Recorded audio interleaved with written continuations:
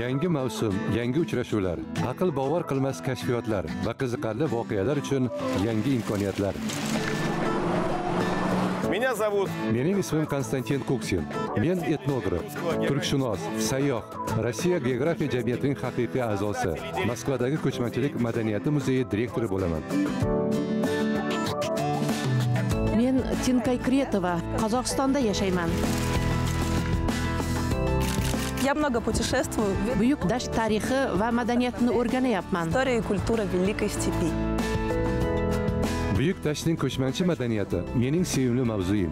U bilan ko'p yillardan beri shug'ullanib kelaman va bu haqda gapiradigan narsalarim juda ko'p. Menimcha biz sizdan ko'plab yangi kutilmagan voqealarni eshitamiz. Qozog'istonga xush kelibsiz. Казахстан.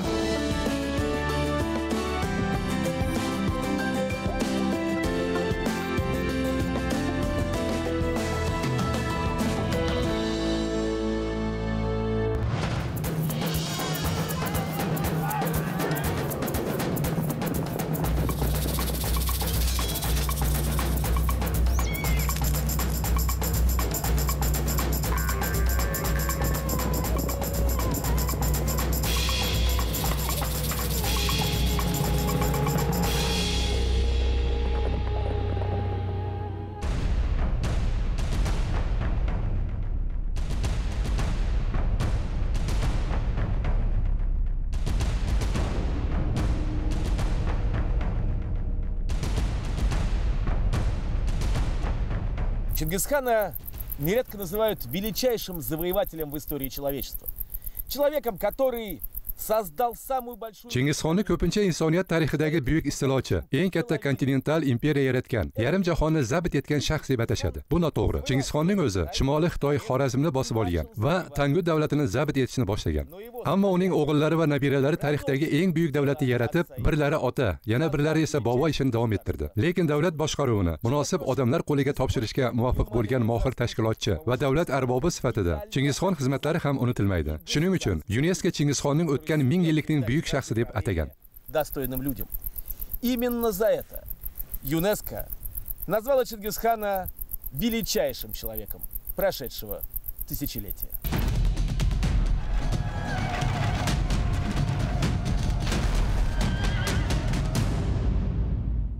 На Курултае 1235 года 1235 yilda bo'lib o'tgan qurultoyda buyuk g'arb yurishi masalasi hal etilgan mo'g'ullar qo'shni qipchoqlar dashti rossiya va yevropa hududlariga yurish qiladi xo'sh nima uchun degan savol tug'iladi Чем? o'z hududlarini kengaytirish uchunmi У них за спиной незавоеванный Южный Китай. На северных границах война. В Хорезме неспокойно. Зачем завоевывать вторую половину мира? Что двигало сыновьями, внуками Чингисхана?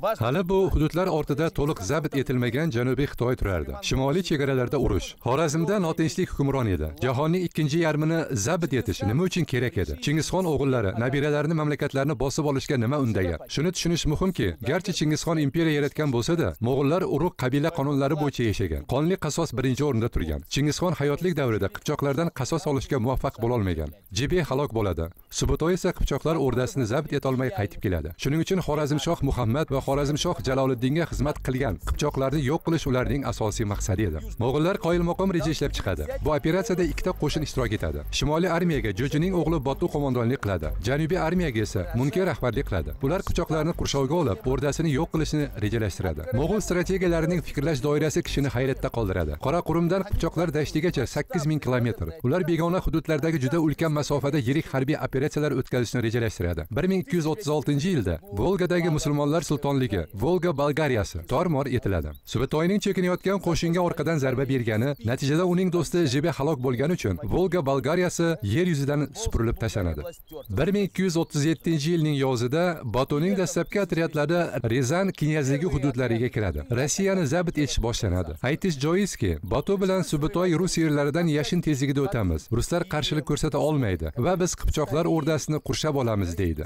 Ammo ular chuchvarani xom sanagandi. Ruslar qattiq qarshilik ko'rsatadi. Xuddi xorazmda bo'lgani kabi bu yerda ham barcha shaharlar kuli ko'kka sovuriladi ta'kidlash joizki mo'g'ullar har bir shaharga taslim bo'lishni taklif qilgan. Agar shahar taslim bo'lsa mo'g'ullar hech kimga tegmagan o'z yo'lida davom etgan. O'sha paytlarda rossiyada 214 ta kuchli istehkomga ega shahar bo'lgan. Mo'g'ullar faqat ularning 70 tasiga o't qo'ygan. Qolgan knyazlar tinchgina darvozani ochib berishga majbur bo'lgan. Va mo'g'ullar so'ragan narsalar berilgan nima deb o'ylaysiz mo'g'ullar ruslardan nima so'ragan.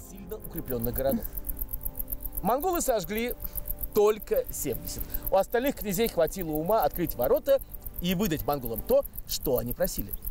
Как ты думаешь, что просили монголы у русских? kuz keyin qish mo'g'ul qo'shiniga nima yetishmagan esingizda bo'lsa mo'g'ullar o'zi bilan 3 ot olib yurgan qishda otlarga nima yetishmaydi pichan Молодец. В науке это называется фураж. Barakalla yem xashak deb ataladi. Ular agar otlarimizga yem xashak bersangiz shaharga tegmaymiz deydi. Knyazlar yem xashak beradi va mo'g'ullar o'z yo'lida davom etadi. Rizan knyaziga o'xshab kim? Bular barchasi bizniki ularni bermaymiz. Faqat bizni o'ldirib olishlaring mumkin degan bo'lsa yo'q qilingan. Mo'g'ullar ruslarning yuriy ikkinchi qo'mondonligi ostidagi birlashgan armiyasini tormor etadi. Ularning shimoliy yurishidan ko'zlangan maqsad novgorod shahrini ishg'ol etish edi. Bu shahar savdo yo'li uchun muhim ahamiyatga ega obyekt hisoblanardi. Yo'lsizlik ularga ancha qiyinchilik tug'dirdi. Ular botqoqliklarda qolib ketadi. Natijada botu janubga qarab buriladi. Volga etaklariga qarab ketadi. Munke qo'shiniga borib qo'shiladi. Qipchoqlar nima bo'ladi? Xon katyan iste'dodsiz hukmdor edi. Ammo uning go'zal qizlari bor edi. Ularning rus knyazlari va vengriya qiroli bela to'rtinchiga unashtirish choralarini ko'rgan. Qipchoqlar vengriyaga qarab yo'l oldi. Mo'g'ullar esa ular ortidan ta'qib qila boshlaydi. Vengriya qiroli polsha qiroliga murojaat qiladi. U esa germaniya qiroliga iltimos yo'llaydi va yevropa ritsarlarining birlashgan armiyasi mo'g'ullarga qarshi chiqadi mo'g'ullar diqqat o'z kuchlarini bo'lib mo'g'ullar salibchi ritsarlarni tormor etadi rim papasi xristian olamining janozasini o'qiydi по христианскому миру.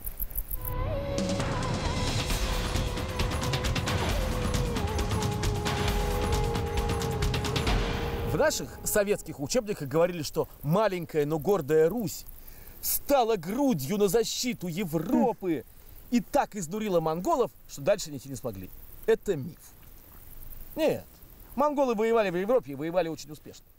Sovetlar o'quv qo'llanmalarida kichik ammo mag'rur rus o'z ko'ksini tutib yevropani mo'g'ullar bosqinidan xalos etgan. Ularning tinka madorini quritgan. Oqibatda ular bosqinchilik harakatlarini davom ettira olmay qolgan deyilgan. Bu bo'lmagan gap. Afsona uydirma. Mo'g'ullar yevropada jang qilgan. Qolaversa juda muvaffaqiyatli jang olib borgan. Yevropa halokatga mahkum bo'lgan. Ammo shu payt chingizxon poytaxti qoraqurumdan qayg'uli xabar bilan chopar keladi. Buyuk xon ugedey vafot etgandi. Esingizda bo'lsa mo'g'ullarda saylov hokimiyati bo'ladi. Xon saylanadi. Chingizxon o'g'illari ahil bo'lgan bo'lsa hamki nabiralari o'rtasida ahillik yo'q edi. Botu shimoliy yurishda rus yerlariga yurishda nafaqat asosiy odam balki borjigan urug'ining chingiziylarning kattasi bo'lgan. Bu urug' tizimida muhim rol o'ynagan. Uning amakisi kuyuk xon guyuk esa buyuk xon ugedeyning o'g'li edi va u botuga hasad qilgan. Ziyofat paytida botu qarindoshlariga shu jumladan quyuxonga ham qimiz uzatadi. Quyuxon esa unga men ichimlikni olmayman. Sening otang kim? Jo'ja marketlik asiriyaning o'g'li chingizxonning emas deydi va qimizni yerga to'kib tashlaydi. Boshqa bir odam bo'lganida shu zahotiyoq qatl etilgan bo'lardi. Ammo uning otasi boshxon subutoy uning yoqasidan oladida shunday deydi. Hozir men seni o'ldiraman itvachcha otam chingizxon nasihatini unutdingmi? Biz ahil ekanmiz hech kim bizni yenga olmaydi. Shundan so'ng uni otasining oldiga jo'natadi. Ugedey o'g'lining qilmishidan qattiq g'azablanadi va shunday deydi. Sen rus shaharlari devorlariga askarlardek tirmashib chiqasan. Otamning qonunlarini buzishga qanday hadding sig'di? Kuyukning bu qilmishi o'ziga juda qimmatga tushadi. Botu agar kuyuk boshxon bo'ladigan bo'lsa nima bo'lishini yaxshi bilardi. Botu uzoq yashamagan ko'p o'tmay uni xuddi otasi kabi dashtdan beli singan holda topishadi. Ovga ketganida otdan yiqilgan ekan. Kuyuxon partiyasi juda kuchli edi. Uning onasi ugedey vafotidan so'ng imperiyani boshqargan. Nima deb o'ylaysiz? Botu o'z hayotini saqlab qolish uchun qanday qarorga kelgan? Как ты думаешь, что решил сделать Баты, чтобы сохранить свою жизнь? nahotki u qochgan bo'lsa Он не из тех, кто бежит. Баты, как бы сейчас сказали, u qochadigan odam emasdi. Botu bugungi davr eslari bilan qaraydigan bo'lsak o'z saylovchilari ovozini boshqa bir talabgorga beradi. U tuluyning o'g'li munka bilan juda yaqin do'st edi. Ular birgalikda rossiya va yevropani zabt etgan. Munkaga u shunday deydi. Munka biz yakka holda yutolmaymiz. Agar mening ovozim sening jangchilaringda bo'lsa sen xon bo'lasan. Mening bir iltimosim bor. Menga hech narsa kerak emas. Oliy hokimiyatni xohlamayman. Menga otamning yerlari jo'ja ulusini otam vasiyat qilganidek qipchoqlar dashti ruslar zamini va g'arbga cho'zilib ketgan hududlarni ber. Men hatto ularga nom ham topib qo'ydim. Munka oltin o'rda. O'sha paytda bu nom birinchi marta aytilgan. Saylov bo'ladi va kuyxon baribir saylovda g'olib bo'ladi. Ammo aftidan o'sha davrdagi haqiqiy saylovlar dasturi ish bermagan. Kuyik ikki yil davomida xonlik qiladi. Batu yashirinib yuradi va jangga tayyorgarlik ko'radi. Keyin esa kuyik bir ziyofatda yeb bo'lmaydigan allanimani yeb qo'yadi va vafot etadi. А потом Гуюк на перу что-то съел несъедобное, и не стало Гуюка. nahotki bu tasodifiy ravishda yuz bergan bo'lsa Случайность или случайно? Видимо, у Батыя тоже была партия при дворе. Aftidan Batuning saroyda o'z odamlari bo'lgan. Munka buyukxon etib saylanadi. Batu esa kelishuviga ko'ra o'zi orzu qilgan shu paytgacha tasavvurida yaratib yurgan oltin o'rdani oladi. U rus yerlariga qaytadi. Uning 4000 nafar mo'g'ul askari bo'lgan. 4000 va turkiylardan iborat 20 ming askari ham. Rusda 6 million aholi yashardi. Shu yerda savol tug'iladi. Batu nimadan umid qilgandi? Bu savolga javob berish uchun menga aytingchi, mo'g'ullar ruslarni yenganmidi yoki yo'qmi? Монголы Русь завоевали или нет? Нет. yo'q Совершенно верно. Что такое завоевание территории? Mutlaqo to'g'ri. Hududlarni bosib olish nima degani? Biz o'sha paytlarda taslim bo'lmagan shaharlarni shunchaki yoqib yubormaganmiz. U yerlarga garnizon qoldirganmiz. Aholiga soliq solganmiz. O'z boshqaruvimizdagi davlat tizimi tarkibiga kiritganmiz. Xitoyda ham o'rta osiyoda ham xorazmda ham xuddi shunday bo'lgan. Mo'g'ullar kelgan va ketgan. Aytsam ishonmaysiz. Botu hujumidan yetgan zarar rus knyazlarining o'zaro o'rtacha urushi oqibatlariga teng edi. Nima uchun o'sha davrdagi rus salomachisi mo'g'ullarning rus yerlariga yurish tarixini rus zamini halokati jangomasi deb atagan aslida bu bir narsaga shama ishora bo'lgan. Aka ukaga ota bolaga o'g'il otaga qarshi bo'lgan. Mo'g'ullar esa parchalangan qishloqlarni osongina qo'lga kiritgan. Rus knyazlarining aqlliroqlari yangi kuch mo'g'ullar paydo bo'lganini. Kim mo'g'ullar tarafida bo'lsa o'sha hukmronlik qilishini tushunib yetgan. Botuva tomoni volga daryosining quyi tomonida tikadi. Keyin bu yerda o'rda poytaxti saroy botu paydo bo'ladi va shu yerda rus knyazlarini kutadi. Ular buyuk knyazlikka yorliq olish uchun botuning yoniga bir biridan oldin yugurib kelishga shoshiladi. Knyazlar o'zini turlicha tutadi. Kimdir nojo'ya xatti harakat qiladi va buning uchun qatl etiladi. Kimdir esa o'zini munosib tutadi va yorliq oladi. Mo'g'ullar rus yerlarida yashamagan u yerga soliq yig'uvchilarni yuborgan. Mo'g'ullar xitoyda xorazmda yashagan. Lekin rus zaminida emas. Ya'ni ruslar shu zahotiyoq qandaydir imtiyozli mavqega ega bo'lgan. Bunda kimning xizmati bor? Какое-то привилегированное положение. Чья заслуга? Заслуга Александра ruslarning bunday imtiyozga ega bo'lishida aleksandr nevskiy xizmatlari katta bo'lgan mo'g'ullar imperiyasida. Что во многом определило судьбу русского государства. Александр Nevskiy совсем молодым человеком прибыл в Орду к Батыю. bu ko'p jihatdan rossiya davlati taqdirini belgilab bergan aleksandr nevskiy hali ancha yosh paytida o'rdaga batu huzuriga keladi u o'tovga kiradi shunda tilmoch unga knyaz mana bu yog'och to'nka chingizxon bu ularning xudosi unga sajda qil batu bundan xursand bo'ladi deydi aleksandr tilmochni nari surib o'sha paytda ilohiylashtira boshlangan chingizxon tasviriga sajda qilmasdan batu oyog'iga bosh uradi batu undan nima uchun rus knyazi mening buyuk ajdodim chingizxon osmon o'g'liga sajda qilasan mening oyog'imga bosh urdi deb so'raydi. Shunda aleksandr sening ma'budingga sajda qilmayman chunki o'z xudoyimga ishonaman. Seni oyog'ingga bosh urdim chunki parvardigorning o'zi seni bizga rahbar etib jo'natgan. Batuga uning gaplari yoqadi. Aleksandr o'rdada qoladi. Keyin esa taqdir taqozosi tasodif tufayli ular do'stlashib qoladi. Batuning o'g'li sartak bilan aka uka tutinadi. Ular bir biri bilan qurol yarog' xoch almashadi. Sartak ham o'sha paytda mo'g'ullarning uchdan bir qismi kabi xristianlarning nestorian mazhabiga e'tiqod qilgan. Rus knyazining o'g'li bilan do'stlashganini ko'rgan batu aleksandrni chaqiradida sen mening o'g'lim sartak bilan andi aka uka tutinibsan. Biz mo'g'ullar uchun bu tug'ishgandan ham yaqin degani. Demak sen aleksandr endi menga o'g'ildeksan men sening muammolaringni bilaman. G'arb tomondan nemislar bilan shvedlar kelyapti. Sen menga men esa senga yordam beraman deydi.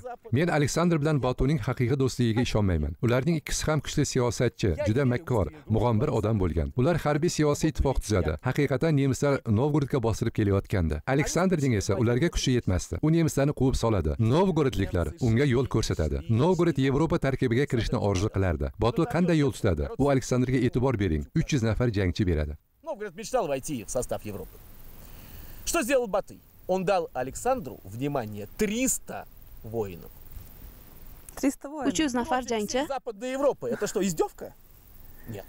Aleksandr в butun boshli g'arbiy yevropaga qarshi atigi 300 nafar jangchi. Nima uchun? Nima? Uni mazax qilganmi? Yo'q. Aleksandr mo'g'ullar kiyimida 300 nafar mo'g'ul askarini olib shunchaki novgoroddagi yarmarkaga borgan. Bu yerda ko'plab yevropalik savdogarlar bo'lgan. Tamom ularning barchasi tezda rus yerlarida xuddi yov quvgandek chiqib ketadi. Yevropaliklar mo'g'ullarning yevropaga yurishi shayo daryosi yaqinida yetakchilarni 2 kun ichida qanday qilib tashlaganini hali unutmagandi. Shundan so'ng yevropaliklar xaritasidan rus zamini degan nom butunlay o'chib ketadi va uning o'rni o'rniga yovvoyi tatarlar atamasi paydo bo'ladi. Keyinroq nemislar shunday ibora o'ylab topadi. Rusni biroz qirtishlasang tatarin ham topasan. Botu bunga javoban undan nimani talab qilgan? Rus yerlarida tartib bo'lishini. Aleksandr endi 300 nafar emas balki mo'g'ullarning tajribali sarkardasi nevryu qo'mondonligi ostidagi 10 ming nafar mo'g'ul askariga ega bo'lgandi. Rus salnomasini o'qiymiz. Nevryuyning qudratli lashkari rus zamini bo'ylab yuradi. Botugacha xalq bunday yovuzlikni ko'rmagandi. Bu armiyaga rus knyazi qo'mondonlik qilgan deb yozib bo'lmasdi. Rus shaharlarining hammasi ham mo'g'ullarga soliq to'lashni istamagan qo'zg'olon ko'tarilardi. Aleksandr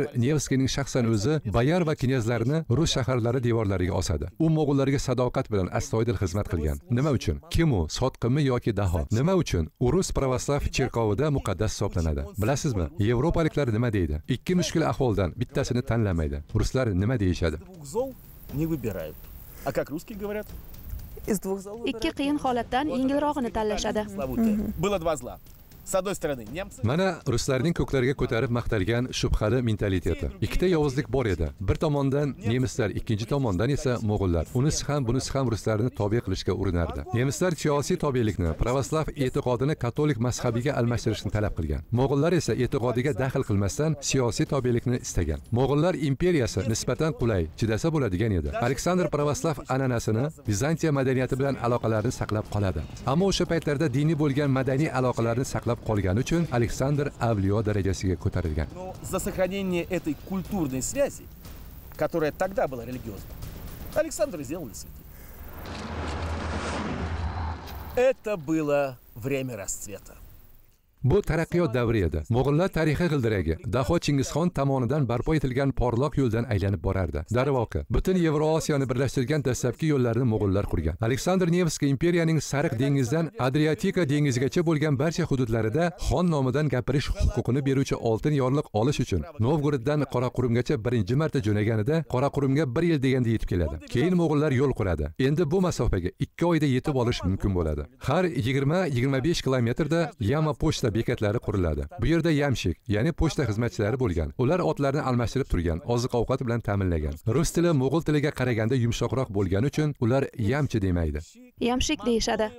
Mo'g'ullar ko'plab tushunchalarni joriy etgan. Hozir ular bizga xuddi tabiiydek ko'rinadi. Masalan dastlabki qog'oz pullar. Tasavvur qiling 13 asr. Tillarni tishda tekshirib ko'rishgan bu yerda qog'ozdan yasalgan pullar. Mo'g'ul hokimiyatiga juda katta ishonch bildirilgan. Arab tarixchisi rashididdin shunday yozgandi. Mo'g'ullar zamini juda ajoyib. Yolg'iz qiz bir xalta oltin bilan xonning butun mamlakatini kesib o'tadi va unga hech narsa bo'lmaydi. Ammo arablar shoir bo'lgan. Qaroqchining orzusi ya'ni sohibjamol bir qiz tilla bilan ketyapti. Bu mamlakatda tartib o'rnatilgan. Mo'g'ullar hukmronligi ostida ruslar zamini ham gullab yashnagan. Ha mo'g'ullar ajralib chiqishga qaratilgan harakatlarni yoqtirmasdi. Agar bir knyaz bosh ko'tarib chiqsa darhol qatl etilardi. Rus knyazlarining farzandlari o'rdada tarbiya qilingan. Tarqoqlikdan so'ng bu unchalik yomon emasdi. Bilasizmi mo'g'ullar imperiyasi qit'a miqyosidagi globallashuvning dastlabki namunasi edi. Tarixdagi birinchi dress kod ham ular tomonidan ta'sis etilgan. Xon huzuriga kim kelsa ham mo'g'ul choponini kiyib kirgan. An'anaviy rus liboslarini bir eslang. Uchi qaytgan etik sharqona chopon mo'g'ulcha malhay quloqchin bu ruschada malahay bo'ladi. Hatto nomlari ham ulardan kelgan. Keyin esa yagona yozuv alifbe hubilayxon davrida to'rtburchak shaklidagi alifbe ixtiro qilinadi.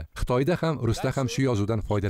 Chopar tizimi soliq tizimi bu qit'a miqyosidagi yaxlit ulkan tizim bo'lgan bunda daho chingizxon xizmatlari beqiyos bo'lgan o'rda paydo bo'lganida u hududlarga bo'lingan biz oltin o'rda hududida yashaganmiz bu yerda esa Это заслуга гения Чингисхана. И когда возникла Орда, она делилась на территории. Мы жили на территории Золотой Орды. А здесь была Белая. oq o'rda Белая Орда. Да, и жители Белой Орды... oq o'rdada asosan turkiylar yashagan. Ular ustidan mo'g'ullar hukmronlik qilgan. 550 yildan keyin bosqinchilar mahalliy xalqqa aralashib ketgan hatto o'z tilini unutgan. Bular hozirgi qozoqlarning bevosita ajodi hisoblanadi. Yuqorida ta'kidlaganimizdek ruslar imtiyozli mavqega ega bo'lgan. O'rdagi islom dinini olib kelgan o'zbekxon g'ayridinlarni o'z qavmi mo'g'ullarini ham tatarlarni ham ayamay qatl ettirgan. Tug'ishgan singlisini rus knyazi moskva knyazi yuriyga uzatgan. Жены русскому князю, причем московскому князю Юрию.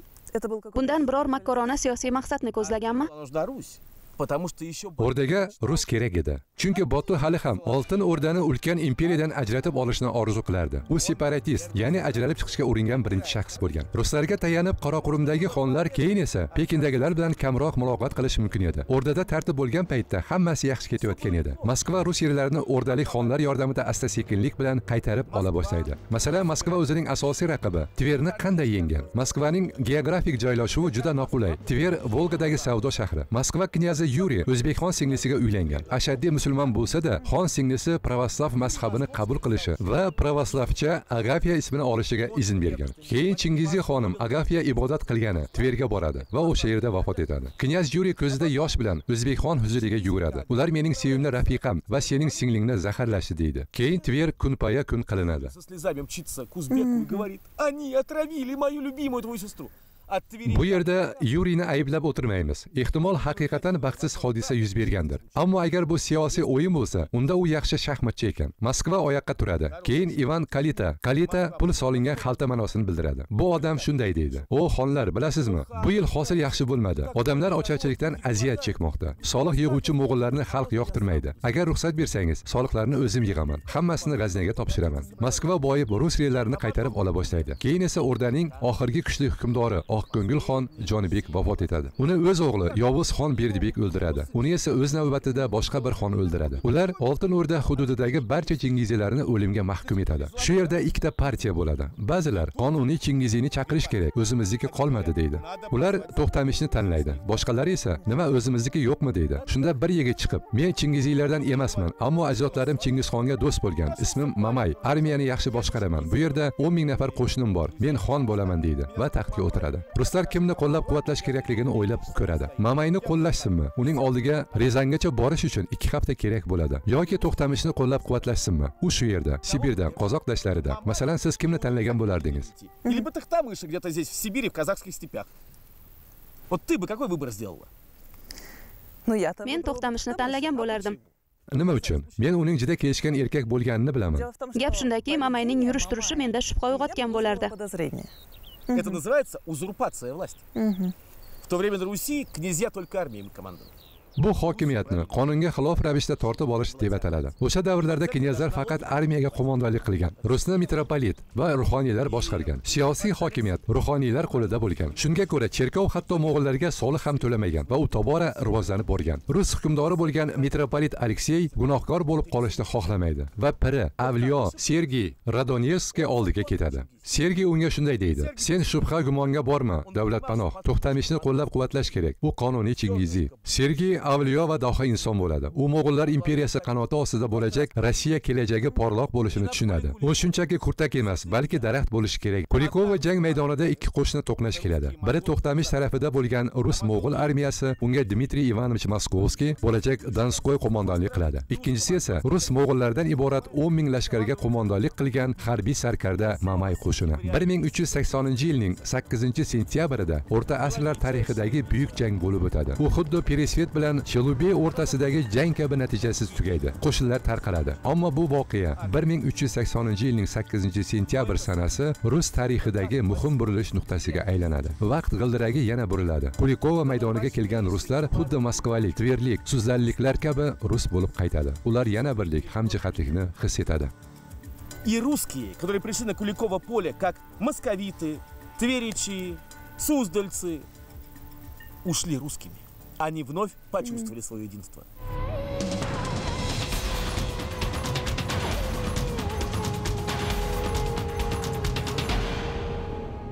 После Куликовской битвы колесо монгольской истории забуксовало, kulikova jangidan so'ng mo'g'ul tarixi g'ildiragi joyida aylanib qoladi va o'zaro ichki urushlar botqog'iga botadi bu esa rus knyazlari moskva boshchiligida birlashish uchun imkoniyat tug'diradi katta o'rda parchalanishi qozoqlar etnosi vujudga kelishiga imkon tug'diradi распад Большой Орды привел к образованию казахского этноса. Именно так. Общий укрепляющий. qozog'iston uchun umumiy mustahkamlovchi tarix qozoq xonligi va hozirgi qozog'iston tarixi aytish mumkinki chingiziylar tomonidan yaratilgan chunki qozoq xonligiga asos solgan birinchi xonlar kerey va jonibekdan boshlab oxirgi xon qosimxongacha bular to'ra bo'lgan qozoq xonligi taxtida asosan chingiziylar o'tirgan Это были туре. У престола казахского ханства в основном сидели чингизиды. То есть закон... ya'ni oq o'rda xonlarining qonuniy vorislari shundaymi chingiziylarda to'raning umumiy ruhi juda yaxshi tasvirlangan ablayxon sabalaq voqeasi yoshligida u to'lebey uyida yashagan. U yetim bo'lgan. Mol boqqan ammo o'z xalqini himoya qilishni juda istagan. Jung'orlar bilan urush bo'lgan. Juda og'ir davrlar edi. Но очень хотел защищать свой народ. Была война с джунгарами, были кровавые, сложные, тяжелые времена. buyuk falokat yillari Да, это была трагедия для всего казахского народа. И, конечно, защитить свои земли... ha bu butun qozoq xalqi uchun fojia bo'lgan albatta har bir qozoq hatto o'smir bolalar ham o'z yerini himoya qilishni xohlagan. Sabalaq to'lebiydan jangda ishtirok etishga ruxsat berishini so'ragan. Yosh yigitchaning shashtini ko'rgan to'lebiy unga urushga borishga ijozat beradi. Sabalaq jangda qanchalik jasurligini namoyon etadi? U savashga bobosi abalay nomini aytib kiradi. Qozoqlarning uchala juzini ham birlashtirgan bizning abalayxon tarixi shunday boshlangan хана Аблайхана, который объединил впоследствии все три казахских жуза.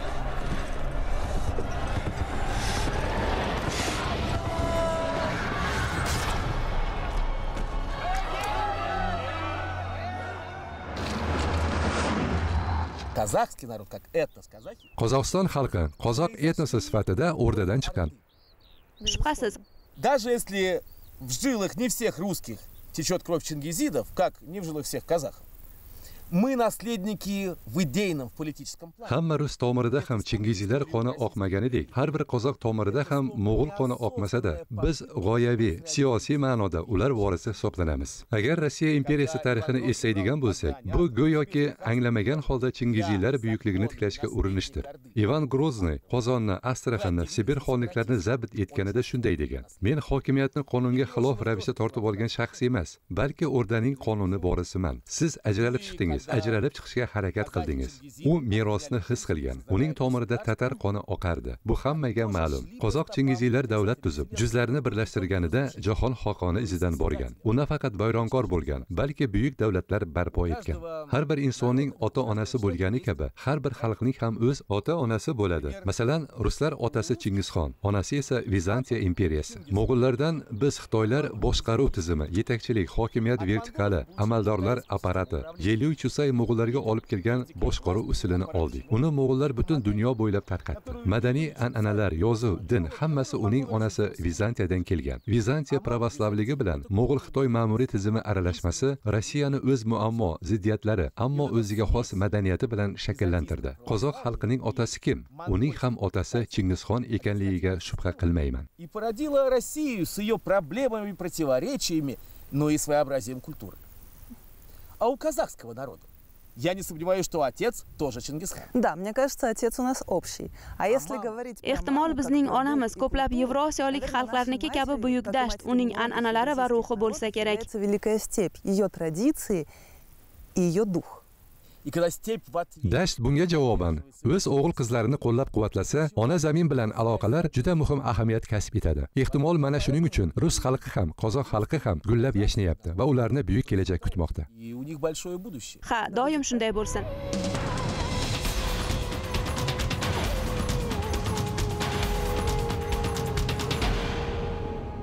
Казахов и русских объединяет имя сына Чингисхана Джучи, старшего сына. qozoqlar bilan ruslarni chingizxonning katta o'g'li merketlik asiriyaning o'g'li deb mazax qilingan jo'ji nomi bog'lab turadi. Otasi ham u o'z o'g'li ekanligidan shubhalangan. Jo'ji bo'rtadan tug'ilgan boshqa o'g'illariga o'xshamasdi. U yumshoq fe'lli inson bo'lgan san'atni yaxshi ko'rgan unga homiylik qilgan. U otasining buyrug'iga qaramasdan butun boshli shaharlarga shafqat qilgan va sirli ravishda halok bo'lgan. Ehtimol o'ldirilgandir. Men chingizxon o'g'lini o'ldirishga buyruq berganiga ishonmayman. U bunday odam bo'lmagan.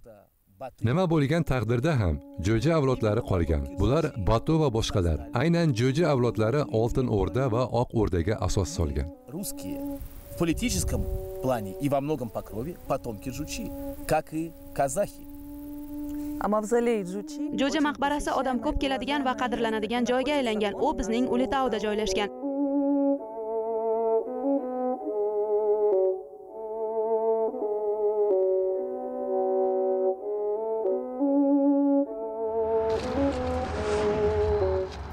Нас сближает не только общая история, bizni nafaqat umumiy tarix umumiy kelib chiqish birlashtirib turadi. Qonlarimiz aralashib ketgan jang maydonlari. Faqatgina safdoshlarimiz bilan dushmanlarimiz qoni birlashtirmaydi. Balki jang maydonlariga chiqqan yelkama yelka turgan va keyin aka uka og'a ini bo'lgan odamlarning aralashgan qoni birlashtiradi. Jangovar qardoshlik barcha xalqlarda har doim yuqori baholangan. Qozoqlar ajdodlari ham rus bobokonalari ham o'rta asrlar tarixida birgalikda ko'plab janglarda ishtirok etgan tarix g'ildiragi ba'zida shunday tez aylanadiki biz uning ayrim sahifalarini ilg'amay qolamiz. Ular esa juda muhim. Aks holda ma'lumotlar noaniqligi tufayli voqealar bizga ahamiyatsizdek tuyuladi. Ular bizning zamondoshlarimizmi yoki uzoq ajdodlarimizmi? Buning ahamiyati bo'lmaydi. Barchasi vaqtning shitobi tez oqimida yo'qolib ketadi. Либо такими далекими, что не имеют значения, теряются в беге времени.